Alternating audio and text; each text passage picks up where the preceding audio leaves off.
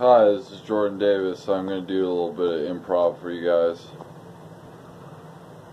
Oh, that's a nice ring. Oh, it's $41.